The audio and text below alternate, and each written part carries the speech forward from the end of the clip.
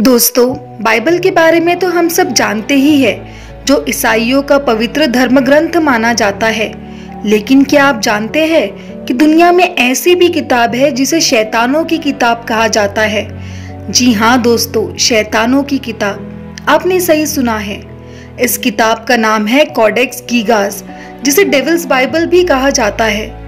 तो चलिए आज के इस वीडियो में हम जानेंगे इस किताब को लिखने के पीछे की कहानी और साथ ही हम जानेंगे इस किताब से जुड़ी कई रहस्यमयी बातें। इस किताब की खोज सन 1648 में हुई थी, जब 30 साल से चल रही जंग के बीच स्वीडिश जवानों ने प्राग शहर को लूट लिया था। इस लूट में स्वीडिश लोगों को काफ़ी खजाना मिला, लेकिन इन सब के बीच उन्हें मिली एक बहुत बड़ी रहस्यमयी शैतानी किताब जिसका नाम रखा गया कॉडेक्स गीगास कॉडेक्स गीगास का मतलब होता है जायंट बुक ये किताब इतनी बड़ी है कि इसे उठाने के लिए कम से कम दो लोगों की ज़रूरत पड़ती है। ये किताब 36 इंच लंबी 120 इंच चौड़ी और 8 इंच मोटी है। इसका वज़न 75 किलो के आसपास बताया जाता है।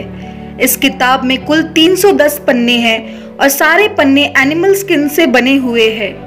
ऐसा माना जाता है, इस किताब को बनाने के लिए 160 गधों की चमड़ी का इस्तेमाल किया गया है।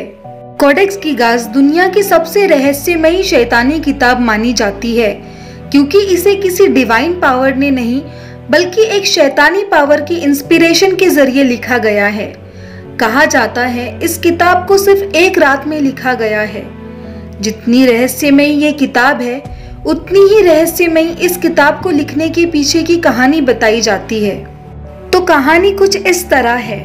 थर्टीन सेंचुरी में एक हरमन नाम के सन्यासी ने मठ के नियमों को तोड़ दिया था। इस बात की खबर वहाँ के राजा तक पहुँच गई और सन्यासी को मौत की सजा सुनाई गई। इस सजा से बचने के लिए सन्यासी ने राजा के सामने एक डील रखी कि वो एक ऐसी किताब लिखेगा जो पूरी मानव जाति के लिए एक बहुत ही अच्छी किताब होगी, जिसमें सारी दुनिया का ज्ञान शामिल होगा। राजा ने उस सन्यासी की बात मान ली, लेकिन राजा ने सन्यासी के सामने शर्त रखी कि अगर वो किताब एक रात में लिख देता है तो उसकी सजा माफ़ कर दी जाएगी। सन्यासी ने राजा की शर्त मान ली और किताब को लिखना शुरू किया। लेकिन आधी रात बीत जाने पर वो समझ गया कि एक रात में वो अकेले पूरी किताब को नहीं लिख सकता है। तब उस सन्यासी ने एक खास तरह की पूजा करके शैतान को बुलाया और शैतान से मदद मांगी। सन्यासी ने शैतान से अपनी आत्मा को सौंप देने के बदले एक ऐसी अनोखी किताब लिखने की डील की, जिसे पहले कभी ना लिखा गया हो। शैतान ने सन्यासी की बात मान ली और सन्यासी की आत्मा के बदले शैतान ने रात भर में ही पूरी किताब लिख डाली। सुबह होते ही सन्यासी ने वो किताब राजा को दे दी। जब उस किताब को पढ़ने की कोशिश की गई, तब सब हैरान रह गए, क्योंकि इस किताब के पहले ही पेज पर शैतान की एक बड़ी सी तस्वीर बनी हुई थी, जो बहुत ही अजीब लग रही थी। जैसे ही इस किताब को खोला गया तो बहुत से लोगों ने अपना दिमागी संतुलन खो दिया। इस घटना के बाद से ये किताब जिसके भी पास जाती थी, वो इंसान अपना दिमागी संतुलन खोने लगता था। इस किताब को नष्ट करने की भी कोशिश की गई, लेकिन कोई इसे नष्ट करने में कामयाब नहीं हो पाया। डेविल्स बाइबल शैतान की पूजा करने के लिए प्रेरित करती है, और लोगों को शैतान के रास्ते पर ले जाने के इरादे से लिखी गई थी। इस किताब का ज़्यादातर पार्ट शैतान की पूजा, शैतान को बुलाने के तरीके और शैतानों के रिचुअल से भरा पड़ा है।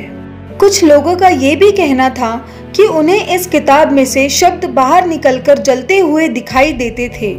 इस किताब पर रिसर्च करने वालों का कहना है कि ऐसी किताब, जो कि चमड़े के पन्नों पर लिखी गई हो, एक ही इंसान को लिखने में 30 साल तक का वक्त लग जाएगा, क्योंकि ये किताब इतनी बड़ी है और उनमें बनाए गए पिक्चर्स जो कि बहुत ही बारीकी का काम है।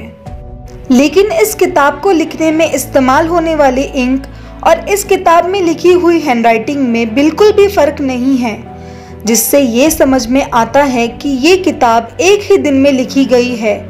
जो किसी इंसान के बस की बात तो बिल्कुल भी नहीं है।